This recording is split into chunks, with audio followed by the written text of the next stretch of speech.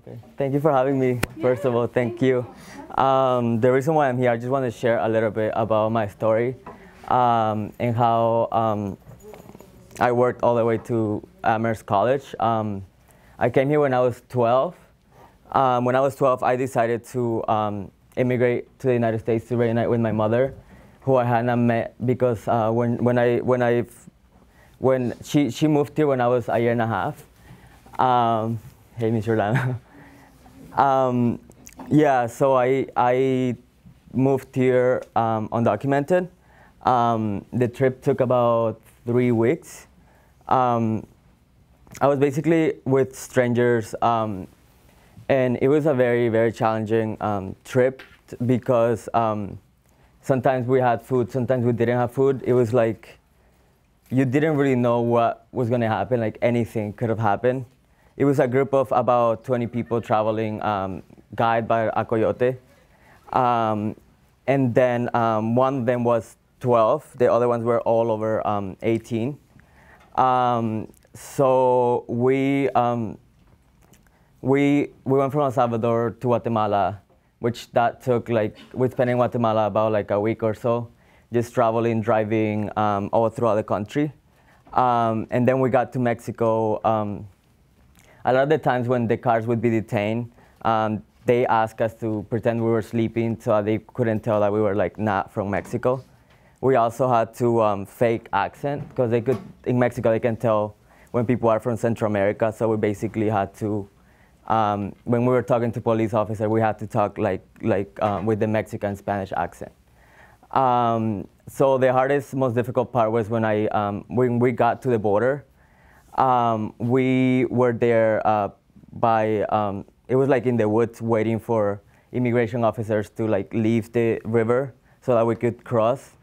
Um, we spent there like about I don't remember how many hours, but it was it was a while. Um, when it was when it got dark, it was about like six o'clock in uh, like night we were able to um, like cross the border. We went through the river. They they pushed us in a like in a in a tube. Um, they pushed us all throughout the river, and then we got to. Um, it was ironic because it was a golf course where like um, very like rich people were playing golf in the middle of Texas. So that, that was like the first image of the United States that I got. Um, and then we didn't really know where to go because the um, coyote had left us there.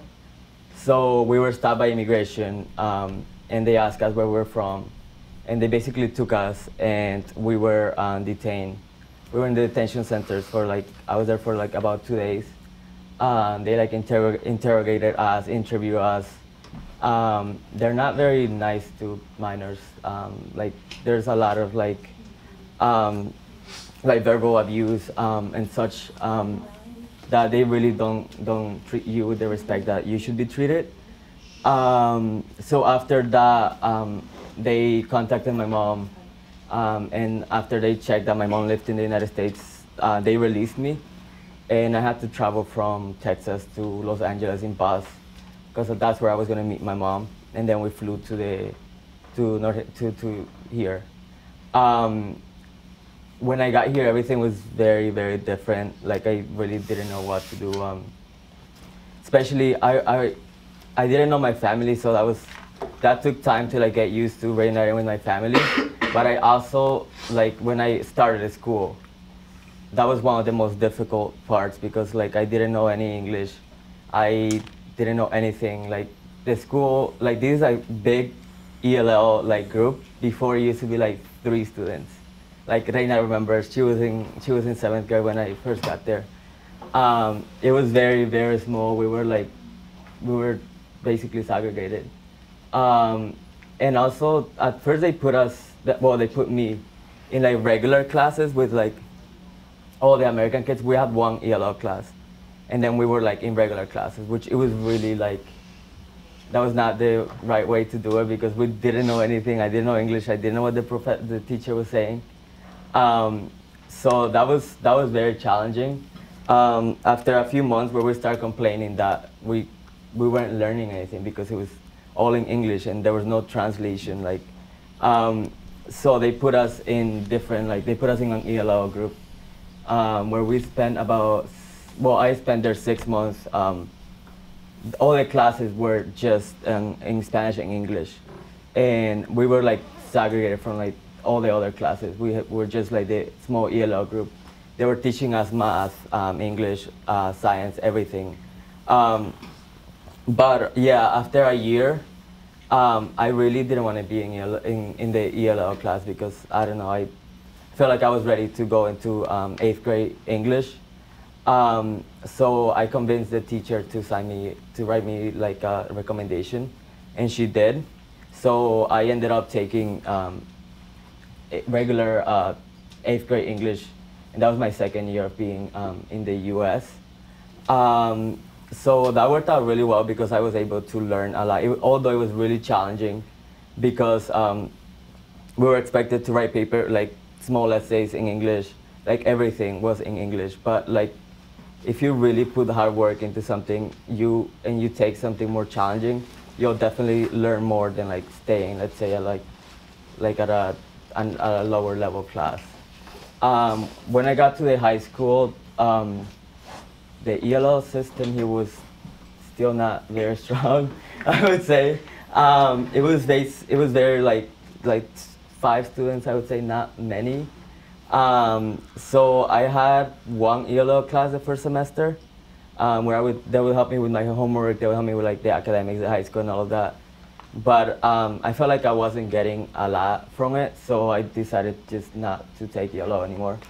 Um, and I started taking like like regular regular classes, um, easier classes, because I at that point I was just like, oh, I'm just gonna take the easier classes, because there was this rumor in high school that um, freshman and sophomore year didn't matter. Like that's when you can do whatever whatever you want and like you can take the easiest classes, but that's not true. Like the whole high school experience matter. like yeah, make sure you work hard all from like ninth grade all the way to 12, because all those grades are the grades that are going to go into your college applications. And those are the ones that are going to matter. Um, so I didn't, I basically, um, it was very difficult because I knew I was undocumented all throughout high school. I used to have to go every year to court in Boston um, to go in front of a, uh, a judge who, um, if he really wanted, he, he, could, he could have written me um, a letter of like a deportation order. Um, but good thing he didn't. And so I was dealing with that in high school. It was really difficult. Not many people like were undocumented, so I didn't really share that with with a lot of people because I mean I shared with Ms. Giordano because she knew um, she knew my status, but it wasn't like there was very very little um, undocumented students at that time. It was mostly um, yeah even the ELL students were like um, documented. Um, so that was, so I didn't really know, I, my, the, um, I never thought like going to college would have been like possible because I knew how difficult like it was. Um, like junior year, junior year of high school was when we like started having college meetings and like we started doing research with Ms. Jordan and like there was very little options available, like almost anything and like it was really frustrating because I would always be at her office like trying to ask her like what can we do? And and like it was difficult because there was not much that that that we could do. Um, so what what I started doing senior year of high school um, I because that was the closest thing to college courses that I was gonna get I started taking AP courses just so that maybe if I passed the test, I would get college credits. Um, so I took three, three, three AP courses, I think, my senior year, um, which were very helpful because uh, it they were very challenging, but I, I, I learned a lot and like I was able to get college credit through one ELL course, which helped me when I got into community college. Um, yeah, but the second semester, um, I I thought that I was just gonna like end up dishwashing because that's what I, I, had a dishwashing job um, while I was in high school, and when I saw that there was no college options, I was like, I'm just gonna end up having to get like a full time job doing this. Um, but I wasn't very happy with um, that option. So um, I took all the money that I had saved and signed up for courses at Holyoke Community College, um, where I had to I had to pay out-of-state tuition, which is um, almost it's twice it's it's twice um, as much as you would pay as as in-state. Um, Can I actually pause you for a second, yeah. Brent? I've been like dreading doing this for a little while because, okay. But I think we need to translate a little bit of this for some students okay. are newcomers. Okay. Oh yeah, yeah. Okay. That was kind of a lot, though. Yeah, so sorry. no, I just I threw it out there. Um, so maybe together we can try to translate a little. Yeah, I yeah. Spanish students. Yep. So like Jan, American comes out, right? Um, yeah, so many so Ryan, for example, Ryan and Alex just yeah. arrived. Yeah, I know Alex. Yeah. yeah. So. Yeah. And we have some other some other students who probably benefit from hearing. Okay, yeah, definitely. Yeah, Like, Jan's really excited to help. Um, I'm in Spanish too. so if you're down, you need help, talk to Jan. Um, so I missed the very beginning. I mean, Reina, can you help me with this? so, I hablo español, solamente que no estaba aquí. Okay. Recuerdo todo lo que dijo Bryan. So maybe sí. juntos. Juntos vamos a hacer. Sí, no. So let's, so let's, we're gonna give this a shot. Okay, we'll use it in the Okay. So cuando Voy a tratar de poner la historia junta de lo que estaba hablando Brian. Él emigró aquí con su mamá. No, sin mi mamá, para reunirme con mi mamá. Para reunirse con sí, mamá. que no había visto. Pero estaba en un grupo con personas desconocidas, sí. un grupo grande. Um, es un paso que tuvo que pasar por distintos lugares. Eh, ¿Cuánto? 23 días. 23 días. Eh, muy asustador de pronto para algunos de ustedes, pienso yo que se acuerdan porque tendrán las mismas memorias. So, um, después de todo ese tiempo, Brian llega a una escuela pública que es la Middle School. Allá yo lo conocí. Y en ese tiempo la clase de hebreo no era esto que tienen ustedes aquí, no era las maestras que ustedes tienen. La, dijéramos que las oportunidades eran muy limitadas, porque la mayoría de, de clases eran todo el tiempo en inglés. So, él llegó con muy pocas oportunidades en lo que fue la escuela media. Después pasó a la high school y en la high school igual todavía no, no estaba, dijéramos, tan bien construido. Sí. Este, este salón de clase.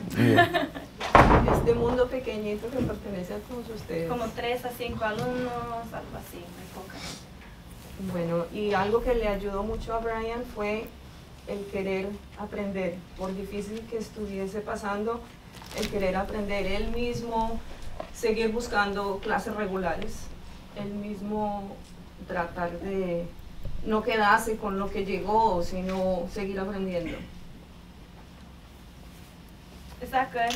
Does, we, does anybody want think we should add anything? Any English Spanish speakers?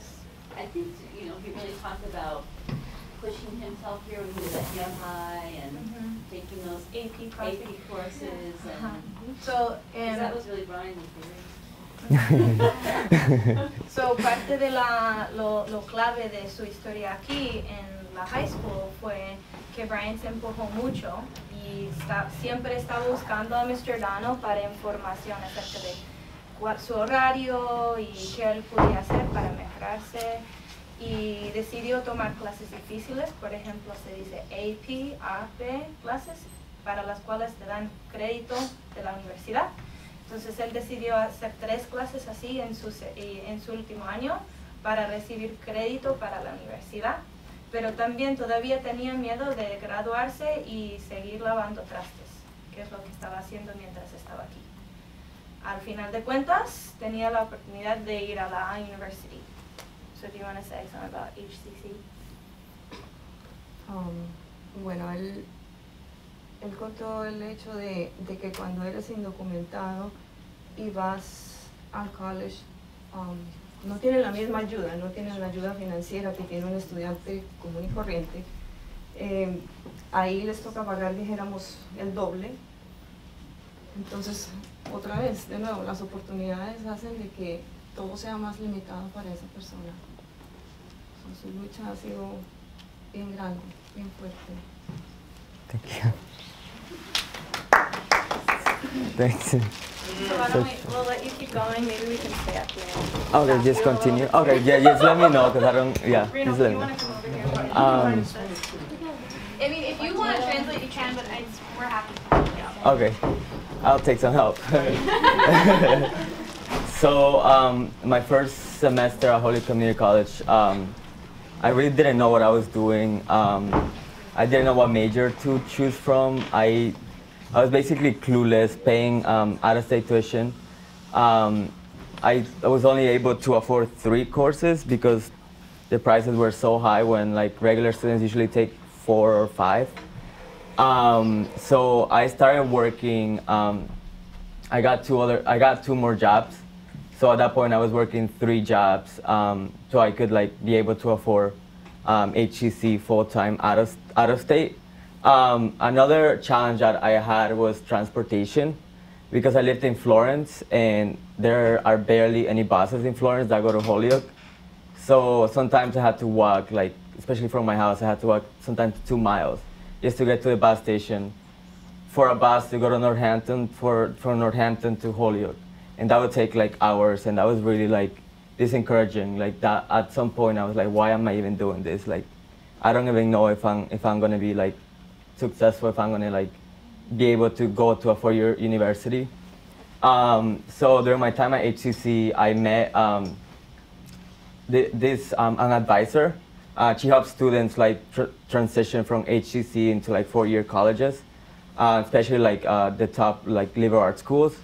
Um, so I, I had a meeting with her and she, um, I told her that I was interested in Amherst College because I knew that Amherst gave really, um, they, they had a need blind financial aid package for, um, regardless of your, of your status as an undocumented students, even for international students.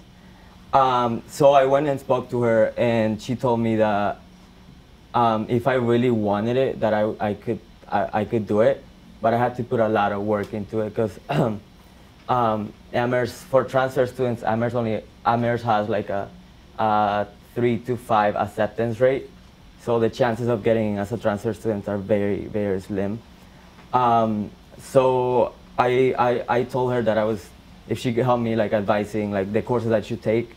Um, so the first thing she said, take as, as much honors courses as you can um, and get good grades. Like basically, like you had to get um, not anything less than an A minus for like all the courses, and that was really difficult um, because I was working um, a lot of hours and trying to keep up with academics and school work, and like getting around from like job to school, from like school to my house. It was just, it was really, really, really challenging.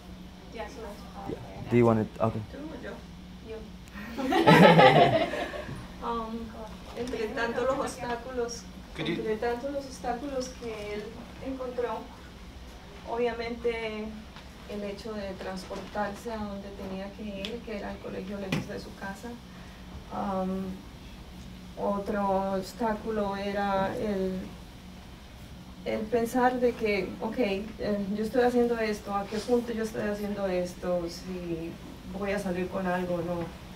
Eh, muchas cosas podían pasar por su mente para, para desanimarse y para no seguir. Al contrario, él llegó a trabajar tres trabajos diferentes para poder pagar um, sus cursos, para poder seguir um, en lo que era su meta. Um, después es cuando conoce a esta persona que le guía. Esto fue... En, fue ese semestre. Ok. Y básicamente le dicen que lo que tiene que tener son unas notas excelentes, unos créditos superiores a B tendría que ser siquiera una A, que ustedes saben lo difícil que es eso. so, ha sido retos en todos los aspectos. Económico, ha sido reto en esforzarse a hacer mejor cada vez, a estudiar y a dar lo mejor que pueda de Gracias, sí. oh?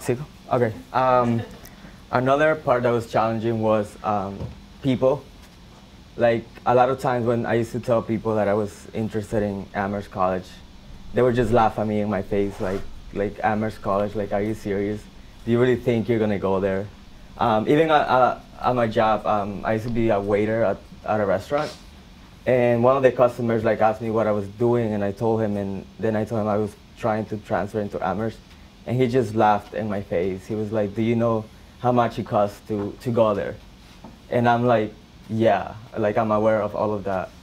And then he was like, "Okay, then, um, then you should really think about." Um, he told me, "Why don't you think about like UMass or like other other other other um, more affordable col colleges?" They obviously didn't know that I was undocumented. So I just didn't say anything. I was just like, let me just do what I have to do and let me prove you wrong. Um, um, so after that year, after my first year, year at Holyoke Community College, um, President Obama gave, um, gave an executive order um, called the Deferred Action for Child, Childhood Arrivals, um, DACA, which granted students like me a work permit um, so that you, and you can also obtain a driver's license. Um, another thing that, that was approved that year was in-state tuition uh, for DACA in Massachusetts. So after that, I was able to um, obtain pay in-state tuition um, at Holyoke Community College. So that was a that was a huge thing for me because I was gonna I, I, was gonna be able to drive to school and I was gonna be able to um, to take more classes. So what I did was like with the money I, I had saved up, I signed up for um, five courses uh, uh, at Holyoke Community College so I could um, finish faster because my goal was to finish in two years and then transfer. Um, and that actually worked out very well. Um, I took two, two honors courses um, and then three regular courses. Um, and I also took some tests so I could get more credit and finish like on in the two years that I had I wanted to finish in. Um, so my last semester at HCC, I had to take um, an honors course that was really really challenging, um, and um, that's where I had to like apply for for colleges that I, where I wanted to transfer into, um, and it was college applications are very very difficult. Like they require a lot of time, especially for like undocumented or DACA students. Um, at that time, I was I was trying to work, like do school, everything. so um, it was really challenging to focus in college applications. So I didn't put much attention in college applications because I thought I had the grades. So like college applications essays weren't that important, which was it was a huge mistake that I I, I did. Um, so at the end, I applied to to three schools um, only. Um, one of them was UMass, one of them um, was Trinity, and um, one of them was Amherst. And because I didn't focus a lot in the college applications, I, um, I only got accepted into, into UMass, the honors college of UMass, um, because I had a, a, a, okay GPA, I guess. So I graduated um, Holyoke Community College within the two years, um, high honors, um, and and it was um, it was really great to graduate uh, from Holyoke Community College, but the only place that accepted me at that time was UMass. Sure. So it was really like, because UMass it costs like twenty two thousand dollars to go one, I don't know, one semester a year. I'm not sure. Um, and I'm not able to, I'm not eligible for financial aid. So I knew that that wasn't even possible. And um, I called UMass, I tried to set up appointments with them. They weren't very friendly.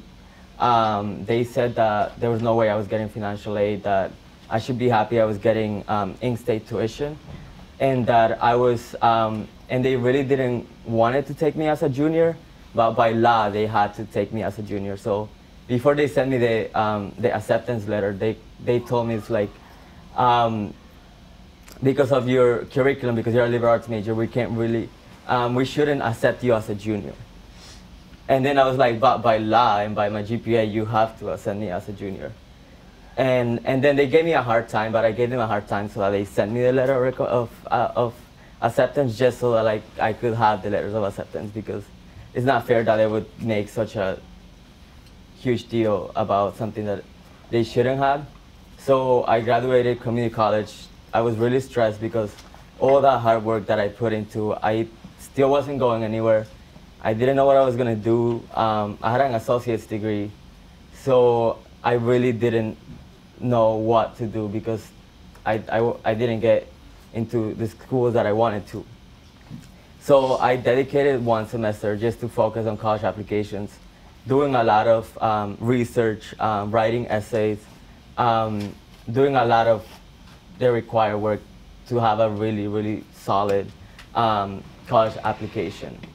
Um, and that, that lasted one semester. I was working um, full time. I had two jobs. I was working full time and a part time job in college applications. And thankfully, that's that's where I like finally got into Amherst, where I wanted to go since the beginning. Um, and they're very supportive. They're really helpful, and I'm glad. Like, it was very rewarding that all the hard work that I put into all, all of those years of education like finally paid off. Yeah.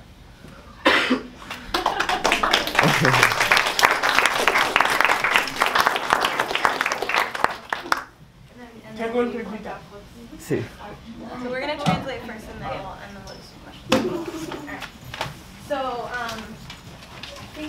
Started this part by speaking about the executive order and Obama and DACA, right? You Yeah, yeah. About getting into Yeah, that I was able to Um, take more courses Okay. because of that. So, él empezó esta parte en hablar acerca de, y no burlen en español, pero este, um, acerca de um, habla- um, la nueva ley, digamos, no una ley específica, pero se llama una orden ejecu- ejecutiva thank you, um, por Obama, que fue, él estaba tratando de pasar algo parecido al acto del sueño, el Dream Act. Que al final de cuentas lo que eso significa, muchos saben, pero muchos no. Y es, em, permite a muchas personas a recibir una licencia para manejar, que sin esto no pueden.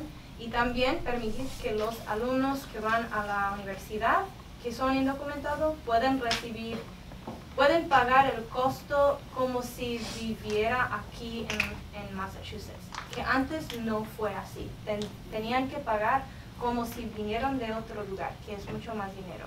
Entonces antes él estaba pagando como a 6 mil dólares al semestre, algo así.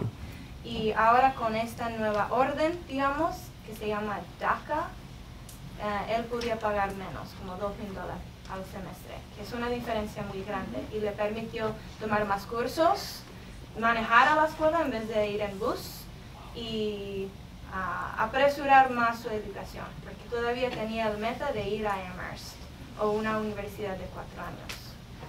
Entonces, después, Bueno, finalmente se gradúa del Community College, lo que es la mitad del camino. La mitad del camino porque todavía su meta era transferirse a otro colegio. Em, entre todas las aplicaciones que hizo, o un detalle que no dijimos, y que yo pienso que es importante. Em, a él el hecho de que la gente pensara de que Oh. estaba tratando una cosa tan difícil, casi imposible, a él no, no lo paró eso de su sueño. El hecho de que la gente se burlara en la cara de él y decirle, ¿tiene idea cuánto va a valer eso? Entonces, em, eso no, no paró a Brian de seguir en su lucha. Em, yo pienso que eso es algo que lo deben de tener en cuenta todos ustedes, los que están en la misma posición, los que están en la misma situación. Bueno, aparte del dinero era tener muy buenos créditos, tener muy buenas notas para finalmente poder ser transferido. Encontró muchos obstáculos en eso. Um, el colegio que le ayudó fue Amherst. Y, finalmente ha tenido la oportunidad de, de tener unos precios más accesibles teniendo en cuenta que siempre ha estado trabajando y estudiando al mismo tiempo. Muy fuerte. Gracias.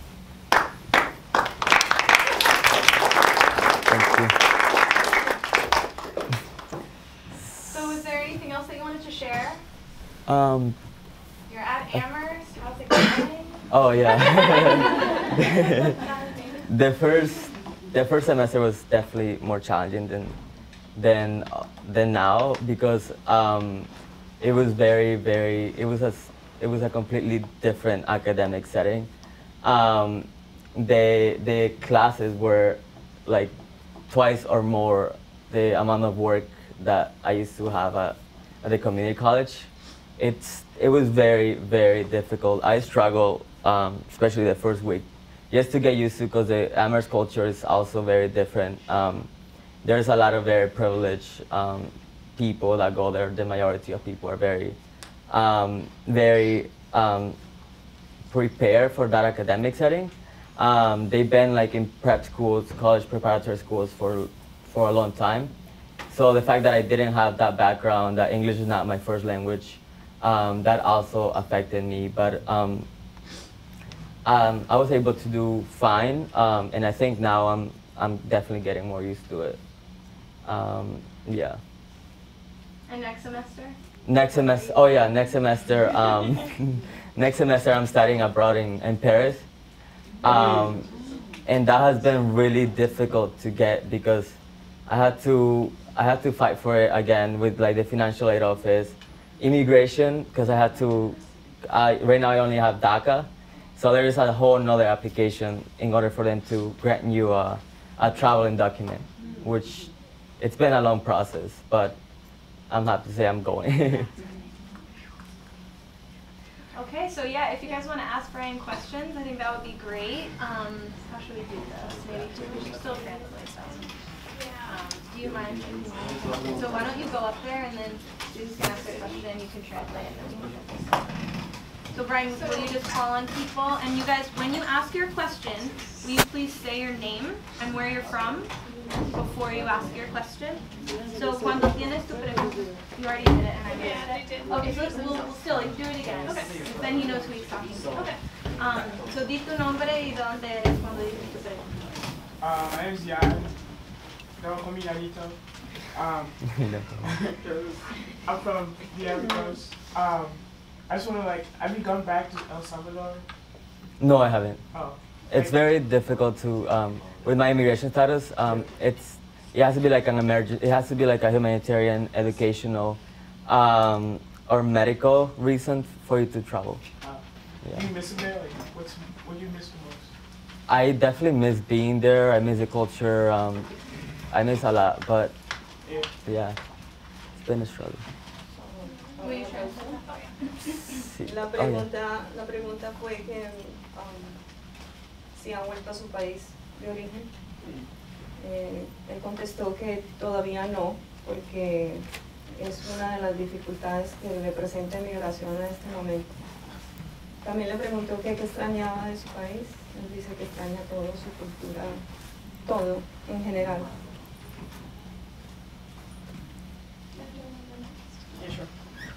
Uh, my name is Maninder. Now that you're at college, is there anything related to your studies for your native country? Y me gusta español. anything related to um, my studies from my country? Um, I study a lot of um, Latin American history and um, even uh, resistance movement in, in Latin America, like civil wars. Um, also a lot of immigration. Was it easy for you to learn like all the history, civil war, and uh, presidential stuff, all the laws passing, wars. Yeah, yeah, it was it was really it was a great experience. It was easy? No, it was a great experience. It wasn't. I mean, it was it was challenging, but it was still great to learn. Oh, yeah, I can relate to that. Yeah. Um, él preguntó que si um, estaba estudiando algo que fuese relativo a la historia de su país, en refiriéndose a, por ejemplo, la clase de historia, eh, cuando están hablando de las distintas reformas y las cosas que han sucedido a través de los años. Em, obviamente a él se le ha hecho más fácil esa parte. O sea, no ha sido lo, lo más, difícil, lo más difícil para él.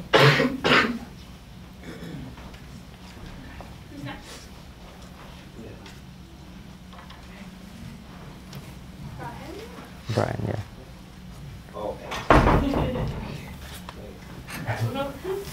Yo imagino lo difícil de tuvo que ser cuando conociste a tu mamá, porque tenía mucho tiempo sin verla. ¿Cómo fue ese momento cuando la viste?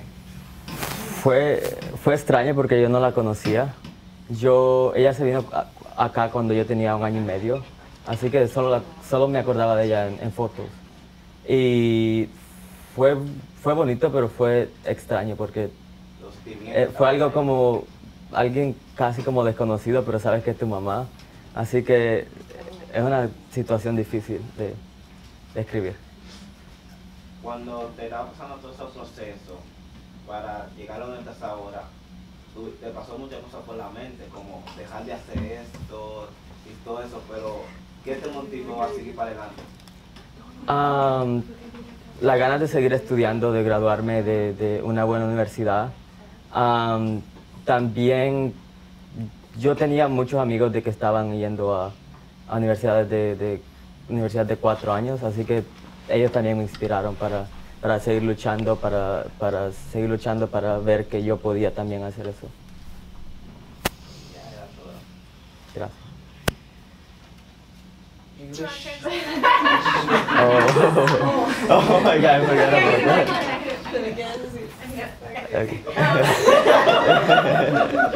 Okay, so Brian asked um, what it was like to meet Bryan's mom when he came here because they didn't really know each other.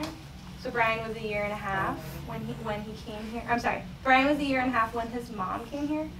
So they really didn't know each other, and so when he came and got to know her, it was really weird because it was kind of like, you know, somebody that he sort of knew or was supposed to know, but then really didn't. So that took some getting used to. And then Brian asked about second question. Um, What motivated me? Oh yeah. Yeah. Um, so what motivated him, and he, he said, well, he has a lot of friends who had gone to four-year schools, and so he would talk to them, and that helped him a lot to stay connected to his goal and keep moving forward. Good, good. Thanks. Other questions? Um, uh, where do you see yourself traveling in the future? Traveling? Yeah, in the future. Um, I definitely want to go to Latin America, cause yeah, cause one of my goals is kind of travel in Europe when I'm going abroad. So I want to, I definitely want to go like travel throughout Latin America. Su pregunta relativa a dónde viajaría en el futuro. Él dice que estaría interesado en ir a Am- América Latina. Megan, you want to go next? Okay. Um, my name is Maya from Thailand. Uh, my question is, what is your favorite subject and how do you study? Um, my favorite subject is French and sociology. Well, those, those are two subjects, I guess. Um, uh, and I study. I, I really like studying when there's a lot of when there is a lot of people for some weird reason. So I kind of like the noise to study and focus. I don't know. That's a really weird way of studying, but that works out the best for me.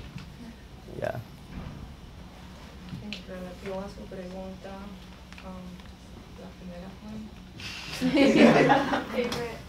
No. No. Ah, materia favorita. Oh, sí, sí, la materia favorita. Em, él habló de francés y de sociología. Y, y entre las técnicas de estudio que él tiene, él dice que puede estudiar cuando bueno, hay gente alrededor o cuando hay ruido.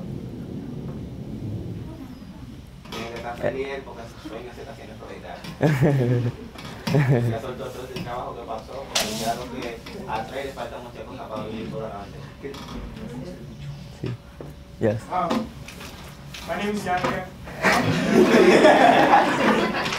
um, mm, like, what's your favorite part about here besides like, I know like you study like you work hard, but like, besides like working hard, like what's your favorite part about like living here? Living in the U.S. or Yeah. or in Orient? Oh, in the U.S. Um, I really like the freedom that you have here, and also um, the the opportunities. I guess like if you really want to work hard for something, you can definitely d- do it here. Whereas in my country, it's very difficult. Yeah, that's very true. Thank Yeah. you. Thank you. Right here, you wanna go next? Um, what is your experience being a student now versus JFK? Ah, it's definitely well. It's relatable. It's similar in a way because um, when I got to Amherst, I kind of felt like the first time I got to JFK because I was such a like an outsider. Like even my academics were, I wasn't at the same level as other students. That's how I felt at JFK because I didn't know English. Um, and in Amherst, it's because I didn't have the education, no background as the other students. So they're definitely relatable, but I think they're, it's going the right path. En su pregunta ella le dice que cómo, en qué tiene que ver el hecho cuando fue de primera vez a JFK, que fue la primera escuela donde él llegó aquí en este país, ahora que él llegó al colegio de Amherst. Él habla de, hay cosas similares en cuanto a cómo él se sentía, obviamente sin mucha experiencia y como siempre con la diferencia del lenguaje de, de todo de donde él llegaba, que era diferente. I'm not. It's not funny. I'm joking. Other questions? Um, what were your goals when you first came to the USA? Um, my goal was to graduate, definitely graduate from high school. I really, that was my first goal. And college was definitely in the back of my head. yeah. Se pregunta cuál era el objetivo de él en un principio cuando llegó acá. Él siempre tuvo como objetivo educarse.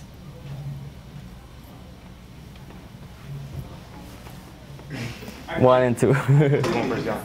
Um, I'm Aaron. I was born here in America, 10 minutes away from Chicago. Um, what was the hardest part through your whole journey? Was it coming here? Was it uh, school or? Um, I would say my hardest part was like dealing with people. Um, all throughout, um, especially like, uh, like let's say, like when I was in high school, it was very like segregated. Like the ELL students were here, and all the rest of the school was like here. And sometimes people like in some classes like they make fun of your accent. They make fun of the way you talk. They like make fun of your immigration status. They used to call me like illegal. I'm gonna call immigration on you, stuff like that. Like that was that was joking around, but it still like kind of hurt it. Um, so that was that was the most challenging part. Even when I went to college, dealing with the people that didn't think I was gonna end up at a school like Amherst. That was very difficult. Su pregunta dice que cuál ha sido una de las cosas más difíciles con las que se ha encontrado. Él dice que el tener que tratar con la gente, el tener que lidiar con las personas. Eh, el hecho de que hay gente que hace una charla, por ejemplo, de su estado migratorio. Am, hacen una charla de, por ejemplo, el acento. Entonces él dice que es una de las partes difíciles porque obviamente es algo con lo que estás lidiando todos los días, es tu realidad y de pronto para otra persona puede ser causa de gracia. So, él considera que esa es una de las partes más difíciles, el tener que bregar con, con las personas. Yo tengo otro, lo que nadie quiere saber. eh, cuando pensaste en venir para acá, para contarte a tu mamá, tú sabías todo lo que tenías que hacer, eh, tenías todo pensado, lo que, ah, todo el problema que te iba a pasar aquí, Y como vienes de otra nación que hablan español y te sabes toda tu área, y aquí como tú eres un país desconocido que no sabe hablar inglés y todo eso, eso tuvo que ser muy difícil para tú lograr hacer todo como estás ahora. Sí, fue, fue muy, muy difícil. Am, yo no ni sabía, no tenía idea que la vida aquí iba a ser tan difícil, porque en los países latinoamericanos siempre, siempre ponen am, los Estados Unidos como la tierra de las oportunidades, como todo va a ser maravilloso desde que cruza la El frontera. la maravilla. Exactamente. Y fue difícil adaptarme y, y saber de que no era así. Sí, porque venir de una cultura para aprender otra cultura es muy Sí, difícil. sí, exactamente. I think I can do it. So Brian asked um, when Bryan, this, this happens um, when Bryan came here, before he came, what sort of how, it must have been hard for him to adjust his expectations from before he came to what he actually thought about this country once he was here. And sort of, sort of that um, contrast and realized that actually, you know, in Latin America, people talk about the U.S. as being this like amazing country that where you have lots of opportunities and everything is easy and um, and it's just not that way. And so he's it's been hard for him to figure out. Well, you know that it's been tough. You have to work really hard for everything that you get, and it's not this marvelous place the way that it's painted in Latin America. Yes. Um, um, like, what's your major in? Aristotle? Um, right now I'm a sociology major with film and media studies, double major, but I'm also taking a lot of French. Uh, like, how's that helping you, like, reaching your goal? Um, it's it's definitely providing me with like um, the right skills for like what I want to do because um, I definitely want to go to grad school. Yeah. So it's definitely like giving me like the background based knowledge to like proceeding to grad school. Um. ¿Cuál era la pregunta? Oh, él me preguntó que si cuál era um, mi major, mi carrera. Ah, y le dije que mi carrera es sociología um, y medios de comunicación. Um, y después, oh, y también francés. Y después él me preguntó que si cómo eso me iba a ayudar a, a Alcanzar. alcanzar mis metas. Ah, le dije que de verdad me estaban dando las um, skills, las oportunidades necesarias para avanzar y para ir a, a- a obtener un- una maestría o un, un doctorado. Eh, tu segunda mamá, como que dice que es tu abuela. Sí. Eh, tienen que- ella te apoyó para venir para acá. Um, al principio no estaba muy contenta porque Sabía. sabía los riesgos y todos los peligros que habían al cruzar la frontera indocumentadamente. Um, pero sabía que era decisión mía y de mi mamá, así que me dijo que me dejó decidir. Pero ella visita mucho también. Oh, y yo imagino cómo tiene que estar tu abuela, tiene que estar muy orgulloso de ti. Sí, me imagino que sí. Espero que sí. She. Yeah. All right. Um, I wrote this one down. So Brian preguntó si cómo se siente su abuela. Wait, in English.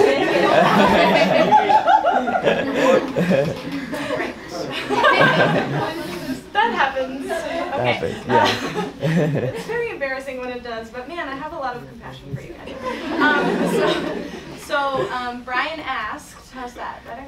Um, how his grandmother felt and how his grandmother feels about him, um, especially coming here when he was younger and this was really his mother's idea. So how does she, the person who raised him, feel about him coming here? And he said at first she didn't really like the idea. She was scared because she knew it would be dangerous, but she kind of came around to the idea because she knew that it was what his mom wanted for him. Um, and then Brian asked if his grandmother was proud of him, and he said, "Well, I hope so." All right, so we've had some people who have said a lot of questions, which I appreciate. Go ahead, Awesome excerpt. job. Uh, sure. So I'll let your teachers know. Um, is there anybody else who wants to ask something? I know we all really thought a lot about before Ryan came. I want to hear um, some more voices, whether it's right now or when we are um, sort of hanging out after. Make sure that you get a chance to talk personally. I'm going to start with, with. Is that okay? Okay, go ahead, Ruth. Ah, tú como, con tu experiencia que has tenido, ¿qué nos deberías comunicarse con nosotros? Con la experiencia que tú tienes. Am, que nunca se vayan por las como las clases más fáciles, aunque sea, yo sé que eso, es lo- eso lo más es lo más bueno que hacer, como oh, voy a agarrar esta clase, va a ser fácil, voy a sacar buena nota, punto, no. Am, les aconsejaría que tomen riesgos de tomar clases de honores, tomar clases de AP, aunque piensen que no estén preparados, porque esas clases los van a preparar más y van a aprender un montón de esas clases. Am, y les va a ayudar mucho para aplicar a, a universidades y todo eso. Yo pienso que también con eso puede ser difícil, pero si tú te sientes orgulloso de ti mismo y tú, lo- y tú piensas que tú lo puedes hacer, también te puede lograr porque tú lo hagas bien. Sí, sí, también eso. I want to add to that and add an additional question. So, para hacer bien y tener éxito en esas clases, necesitamos más consejos. Entonces, si uno va a hacer esas clases difíciles, Sí. ¿cómo lo va a manejar? Am, lo primero que tienen que hacer, no escuchen a las personas que les van a decir o que les hagan burla, porque eso me pasó aquí a mí en las clases de AP. Era el único estudiante la- latino que de, de ILO que estaba ahí. Y la gente se pone como, wow, un, un estudiante de ILO en una clase de AP.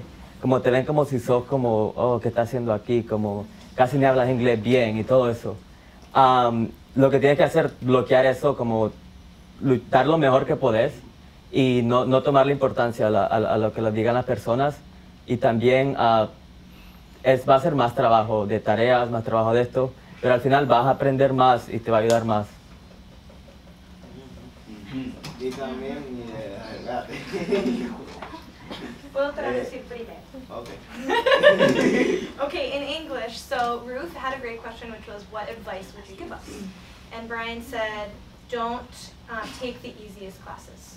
So make sure that you're taking challenging honors and AP classes so that you're really prepared for college. And I added to that and I said, well, if that if we're going to take those hard classes, how can we be successful in those hard classes? And he said, first of all, don't listen to what people say. So when he was in his honors and AP classes, people would make fun of him. He'd be like, you know, they'd say, oh, you're the only ELL in here. What are you doing here? And, and he just had to sort of say, no, I'm not going to listen to what they're saying. Um, because even if even if you're taking really hard classes, you have more homework, you have more writing assignments, you have just a lot more to do. That more work equals more learning, which is what you need and which is what will actually help you succeed. Thank you for that good question. All right, somebody who hasn't said anything. Yeah, Alex. Ah, ¿Cuánto tiempo tienes de vivir aquí? Ah, voy, a cumplir nueve, voy a cumplir 10 años en mayo. Oh, ya. Sí. So how much time has Bryan been here? So 10 years in May. All right, who else? So I I have a question. So what are your long-term goals? You want to go to grad school, and then where do you see yourself in the future? Um, I have a lot of options for that. Well, I, I'm thinking of a lot of different ideas just in case, like plan B and C and like D. Um, one of them is um, either like um, work for marketing, the marketing uh, company, um, essentially moving uh, moving to a city. Um, also, another option is real estate, um, work for real estate. Another option is um, get my PhD and, and become a professor. Um, and another option is work for communications. Yeah. Su pregunta se refiere a cómo se ve él en un futuro. Eh, él habla de que tiene varias opciones. Entre sus, todos los planes, él dice que en caso de que algo no funcione, pues tiene diferentes opciones. Sí, um, una de mis opciones es ah, trabajar en, un, um, en el área de mercadeo, como para advertising. Um, Publicidad. ah, publicidad. Otras opciones es ah, sacar un doctorado y ser un profesor en una universidad. Um, otra opción es trabajar para bienes y raíces. Y la otra para um, optar para los medios de comunicación. Ya todo eso lo tiene planeado. Yo. Por si acaso no, no funciona. Si opción uno no funciona, está la otra. Tiene todo su plan. So actually, I, I'm really happy you guys all have questions. I think we need to stop and take a break because it's been about an hour, which I know. it's a